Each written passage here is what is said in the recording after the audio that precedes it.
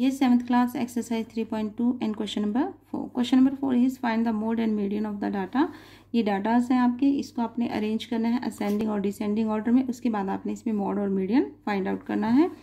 चलिए देखते हैं इसमें सबसे छोटा नंबर है, अगर हम इसको असेंडिंग ऑर्डर में अरेंज करते हैं तो सबसे छोटा नंबर है ट्वेल्व तो ट्वेल्व कितने टाइम आया हमारा? वन एंड टू टाइम है। ट्वेल्व के बाद थर्टीन वन टू टाइम आपका थर्टीन है देन फोर्टीन भी आपका one two and three time है। फोर्टीन के बाद आपका आएगा सिक्सटीन दैन नाइनटीन। टोटल हमारे नंबर कितने? One two three four five six seven eight nine number हैं हमारे। चलिए हम इसे नोटबुक में करेंगे। सबसे पहले हम लिखेंगे arranging the data in ascending order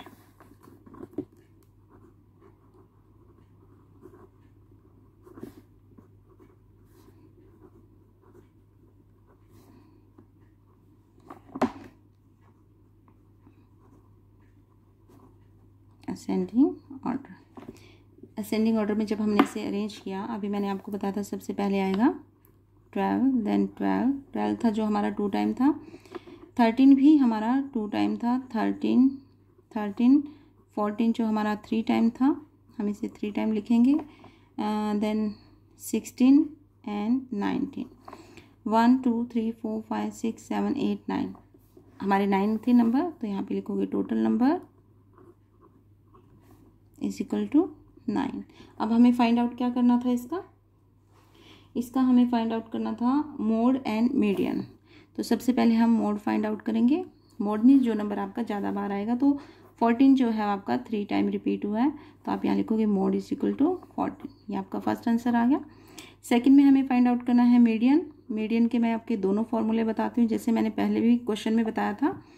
median का मतलब है मिड टर्म यानी कि आपके नंबर टोटल नो है, यानी ऑड नंबर है तो मिड टर्म आपकी कौन सी होगी? One one two two three three four and four तो मिड टर्म आपकी है फोर्टीन तो आपका जो मीडियन है, वो फोर्टीन है।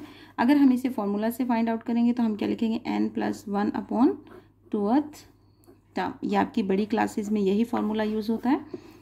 तो आप अभी से इसकी हैबिट डाल लीजिए तो ज़्यादा अच्छा है। Nine plus one upon ten upon two यानी कि फिफ्थ टर्म। तो फिफ्थ टर्म आपकी कौन सी है? One, two, three, four and five. तो आपका मीडियन और मोड हमें यहीं पे पता चल गया। Now question number five this one is the last question of this exercise tell whether the statement is true और फॉल्स आपने बताना है, यहाँ पे आपको फोर स्टेटमेंट दी गई है, ये ट्रू है या फॉल्स है।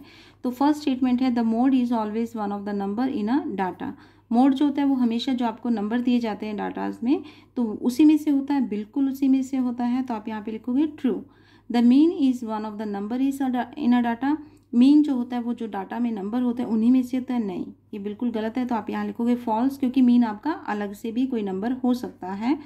The median is always one of the number in a data median जो होता है वो, जो डाटा में आपके नंबर होते हैं, उसी में से होता है। बिल्कुल यहाँ पे आप ट्रू लिखोगे।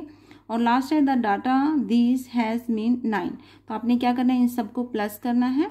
और फिर उसको आपने डिवाइड करना है। जितने टोटल नंबर है one two three four five six seven eight तो इसमें अगर आप असेंडिंग ऑर्डर में नहीं अरेंज करते तो कोई दिक्कत नहीं है, क्योंकि मीन है। आपको अरेंज किसके लिए करना पड़ता है? मोड और मीडियन के लिए। सबसे ज़्यादा आपको मीडियन के लिए अरेंज करना पड़ता है। तो इसको अगर हम डायरेक्ट इसको ऐड कर देते हैं तो चलिए हम यहाँ पे ऐड करके देख लेते हैं इसको।